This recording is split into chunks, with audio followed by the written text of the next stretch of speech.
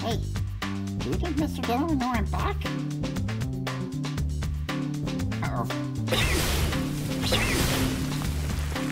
Okay, kids, here's your independent learning for today. Let's go ahead and start with Benchmark Advance. We're doing pages 2 and 3 today. All right, first thing, go ahead and write your name neatly on the line. Past tense irregular verbs. Fill in the chart. The, pa- uh, the present tense for break, the past tense would be broken.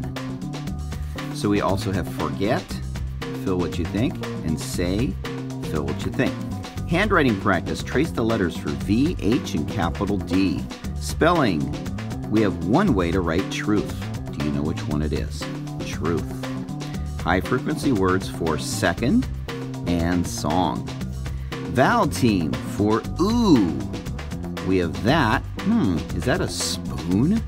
See if you can figure out the other three. Compound words. Match the word to, to the meaning. So we got greenhouse, highway, horsefly, overboard. Uh, let's look at some of these. A large fly, the female will bite animals. Over the side of a ship, a glass building for growing plants, a main road that connects major towns. Go ahead and match the word to the meaning.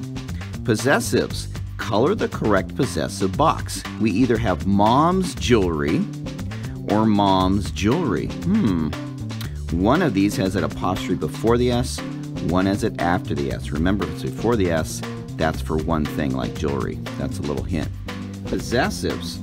We have some more possessives. Write the correct form for skateboard of Tom, the toy of the cat. So might be uh, Tom's skateboard and the cat's toy. Okay, write that correctly in the line. Let's go ahead and look at number three here. Day three, page three. Name neatly on the line, please. Past tense, irregular verbs. Here's some more. Fill in the chart. Present tense is dig. Write the past tense. We also have grow and ride. Fill those out. Handwriting practice. We got VH, capital D again. Spelling. Write the correct way to spell shoe. Shoe. Pick the right one. High frequency words for think and three. Vowel team again for the ooh sound. Ooh. Is that a moon? Figure those all those out for you.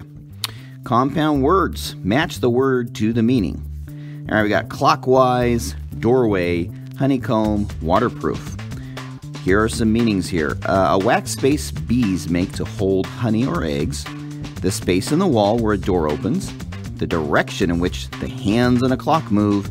And something that keeps water out. Can you match the word to the meaning? Possessives, we have color the correct possessive box for the man's coat. Possessives, write the correct form for Book of Tom and Friend of My Sister. All right, let's go ahead and take a look at our math today. March Daily Math, we're going to again do page two and three. Here we go. Name in the line neatly, please. Solve, then color. Evens are yellow, odds are green. Money, use two coins to make 35 cents. Part, part, whole, can you find out the missing addend for here? Shape addition, count the sides of each shape, then add together. Count how many sides and write the total for all these.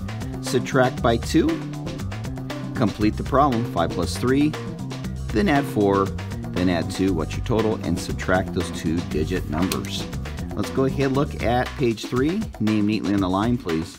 Time. Draw the hands to show the correct time for 8.30. Comparing numbers. Write greater than, less than, or equal to in the heart. It's actually in the, looks like a, ooh, leprechaun gold. Write it in here. Okay? Counting on. 10 plus all these gives you that. 10 plus all these gives you that. Fill out your total. Doubles plus 1. Double the number, then add 1. Double the 5, then add 1. That's your example. Double the 7, then add 1. Addition. Color in the problems that equal the number. The number's right here. Then finally, word problems. How many fish were caught in all? Cross out the extra information, then solve. So they're going to give you some information that has nothing to do with it. Molly caught three fish, and Jamie caught 10 fish. there were seven birds that flew away. Or I should say that flew by. How many fish were caught in all? Wait one second. There were seven birds? Does that have anything to do with fish? Ah, cross that part out. That's a little hint to you guys. Well, that's you guys' math today. I hope you guys have a wonderful learning day. Make sure you guys are using Raz-Kids for 30 minutes, Dreambox for 30 minutes, and at least 20 30 minutes of a good fit book. Throw in Prodigy if you'd like to. And I hope you guys have a wonderful, fantastic, marvelous learning day. See you guys later.